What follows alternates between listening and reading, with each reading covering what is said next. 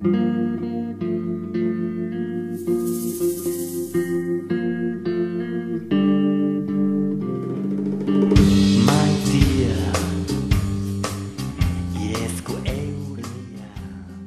atari hau berria bekara aurkeztutako egitasmo bat da. E, bekara aurkeztutako egitasmo ura izan zen e, zazpi kultur adierazpidetako euskal sortzaileen katalogo bat egitea sarerako.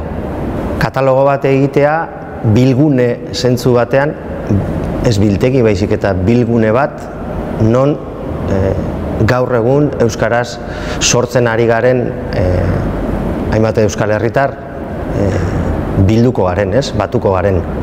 Hainbat kultura dira espidetako atariak badaude, non oso ondo bilduta dagoen, e, jasota dagoen zertan ari garen, eta guri bururatu zitzaigun, agian argazki oso bat eukitzeko, e, argazki integral bat eukitzeko, eta ikuspegi e, nazional batetik ere bai, zergatik ez, ba, erabiliz jada sarean dagoena leku bakarrean e, biltzea sortzaileak egoki izan zitekela alde batetik bai e, sortzaileon ikusgarritasunerako, ez?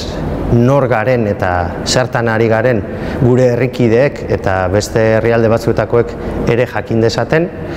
Tresna egokia iruditzen zitzaigun izan zitekeela e, kasetaritzan ari zareten ontzat, zuek ere jakiteko egunean egunean norrari den sorkuntzan, antolatzaileentzako ere bai, e, herri mugimenduetatik sortutako kulturaren inguruko eta euskararen inguruko elkarteentzat eta erakundeentzat, gaztetxeentzat, antolatzaile profesionalentzat ere bai, erakunde publikoetako ere bai, e, eta baita ere transmisiorako, hezkuntza arauturako, zein etxe giroko edo familia giroko e, transmisiorako. Orduan, hori da bere abia puntua eta jarrera. Bilgune bat izatea, e, gure herrikideek eta gu geuk askotan ere jakin dezagun norrari den ze disiplinatan sortzen.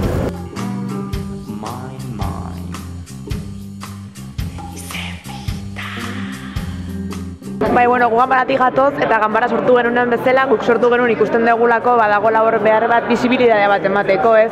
Asko dago erakusteko asko egiten da eta askotan ez da intzat hartzen dagoen guzti hori.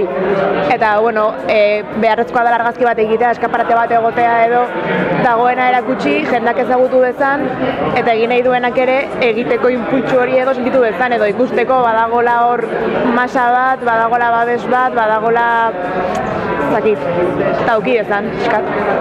Bueno, personalki oso proiektu interesgarria iruditzen jate. Azkenean, e, bai sortzaileen izenak zein egiten dugu zen lanak aditzera emateko espazio bat, eta gotzonek be hainbeste aldiz eh, errepikatu duen elkarlan honetarako ba, beste pauso bat, ez?